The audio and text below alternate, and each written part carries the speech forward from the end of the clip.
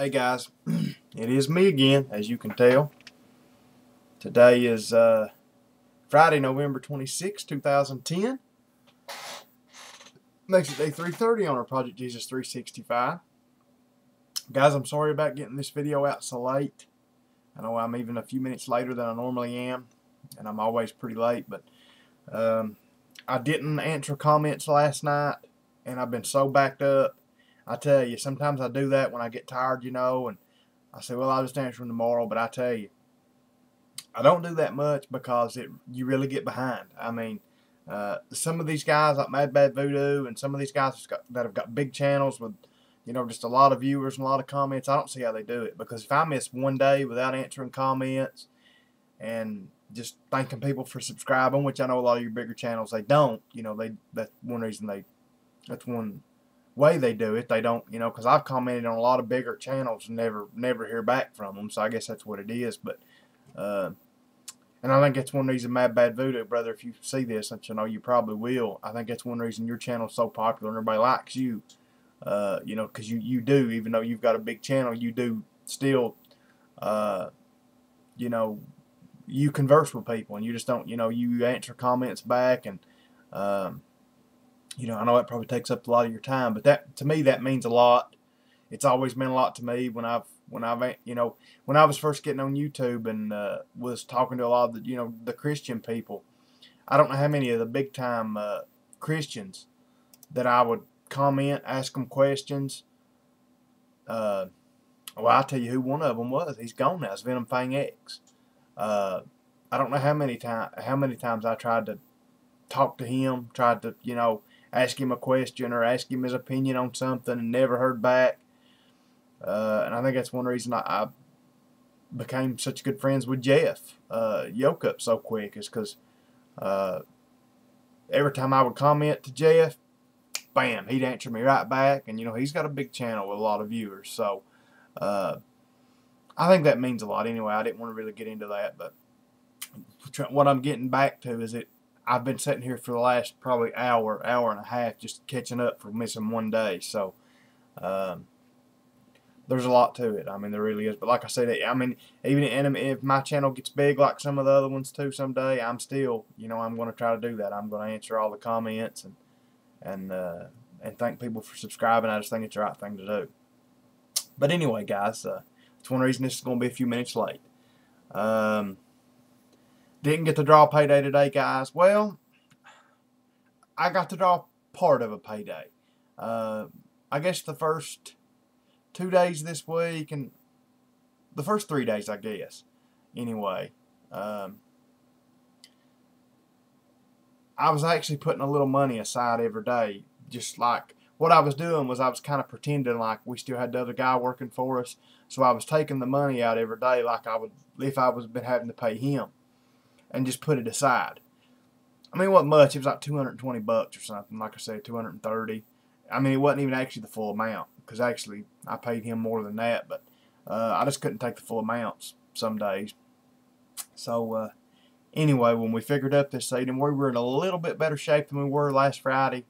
Not much, maybe like 200 bucks better, 300 bucks, something like that.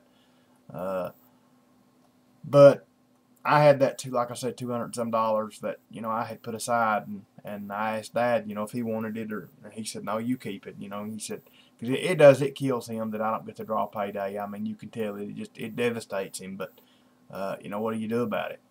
Uh, this week, I think if it hadn't been a holiday week, would have we would have been did have been a lot better shape because uh, even in uh, just working what four days this week so far we, we already brought in more money than we did in five and a half last week. So I think if we hadn't had to take off uh, yesterday for Thanksgiving, you know, we'd have, we'd have been in better shape. But you know, that's just the way it goes. I just want you guys to keep praying for me. I know I know that I know it's going to get better. We we've talked about a lot of things we're going to do, uh, and I think that's maybe what the Lord's wanting us to do. He's He's giving us a little kick in the pants. Uh, we're going to change a lot of things. We're changing our sign out front, and we're actually kind of we're changing the name of the business too.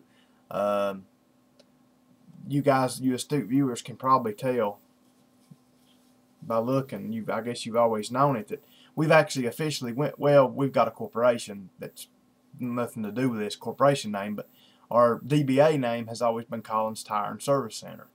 Well, you know, back in the day when we first started, that was our main business was selling tires. Uh, you know, back when the economy was good, tires weren't that expensive.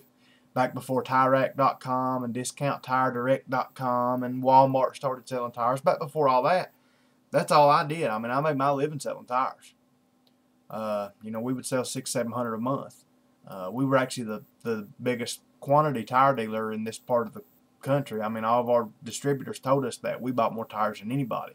And there's actually a few dealers around us that are bigger than we are, but you know, we were still moving more tires. But you know, over the years, like I said, due to TireRack.com and all these places, you know, we're I just can't compete with them, you know, price wise. And uh, Walmart, Walmart, I can, I can, I can beat Walmart tying in on tires. I don't, I, I don't know why, but people will buy tires from Walmart just because they're Walmart. But anyway, um, so anyway, our big, and it has been for the last several years, our big thing, now I'm talking about the car side, the, the four-wheeler side kind of holds, it, holds its own, you know. Uh, last several years, our big, you know, thing that we do is, is mechanic work, you know, working on cars, service, the service part. You know, even though our name has been Collins Tire and Service Center, the official name, uh, I still get people every week. No joke, guys. We've been there 16 years in February. It'll be 16 years in February. And I and you know it's a small town. It's not like we're in New York or somewhere where nobody knows you. I still get people every week that say, "We didn't know you worked on cars. We thought you just sold tires." Or we didn't know you worked on cars. We thought you only worked on four-wheelers and motorcycles. Uh, so anyway, what we're going to do, I think we're going to change our name. You know, nothing officially, you know, but just our sign and things. I think we're going to change it maybe to Collins Auto Service Collins Service Center, something like that, just to put more in the name to tell people what we do, that we do work on cars. Like I said, I get I get people asking me that every week. Had a guy the other day came in to buy some four wheeler parts, and peeked his head over there and said, "You all work on cars?" Well, you know, we were working on a couple cars back in the summer when we were busy.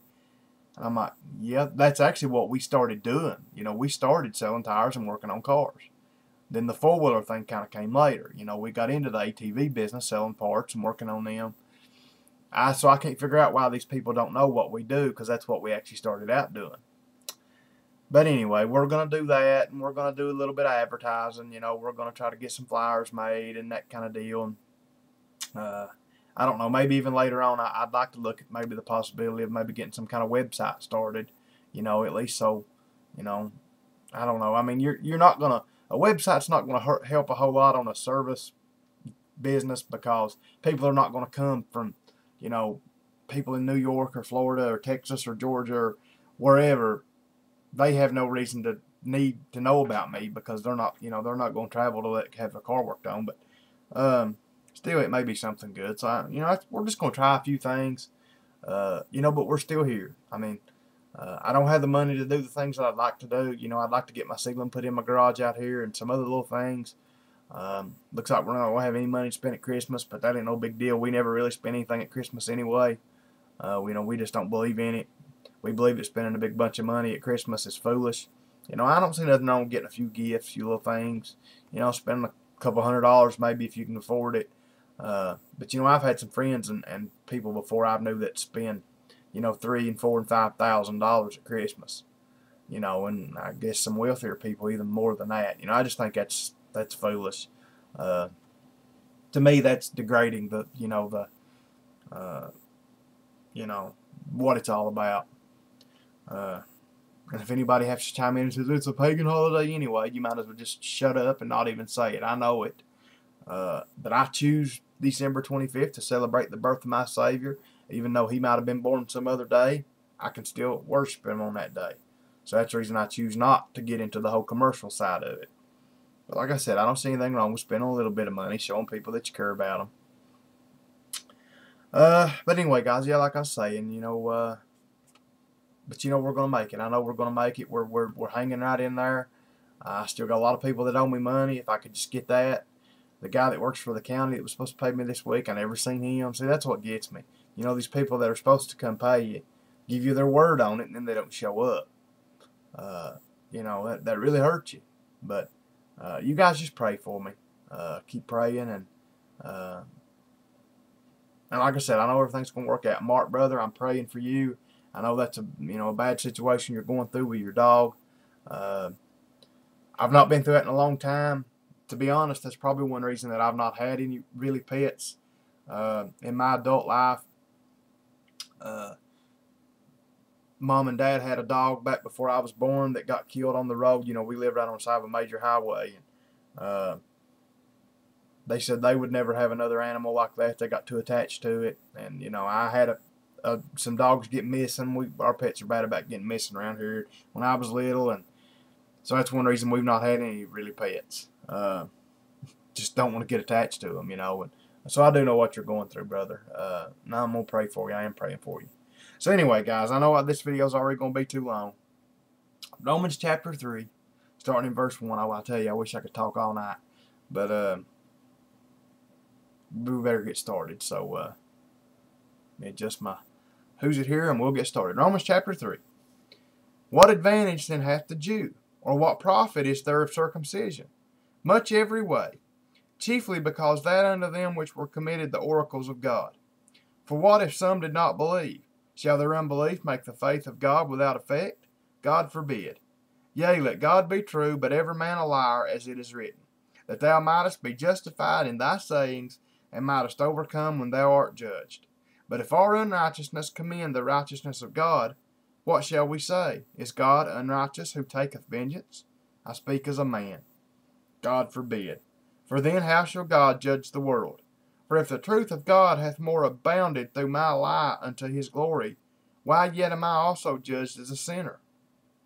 And not rather as we be slanderously reported, as some affirm that we say, Let us do evil, that good may come, whose damnation is just. What then, are we better than they?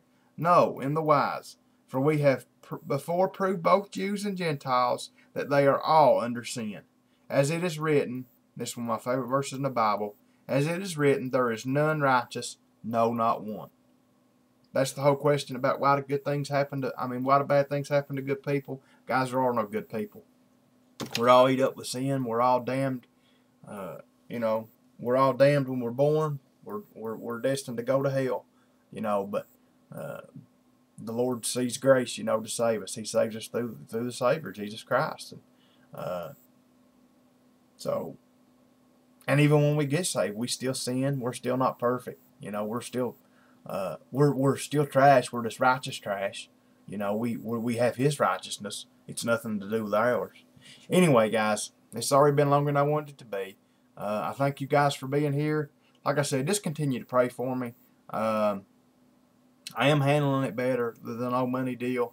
Uh, I've got a couple bit, a couple. I got probably one diesel truck coming in tomorrow. That I mean, it's probably going to be a big job. Maybe take me a week or two to work on. Pray for me on that. It's really a job that I don't like doing, and if I didn't need the money so bad, I wouldn't do it. I'd turn it down. You know, I'd just say take it somewhere else, take it to a dealer, because really nobody around here can do this except me. I'm probably the only shop that can do this. What this truck's got to have done, and I don't like doing it. But like I said, when you're broke, you can't be turning work down.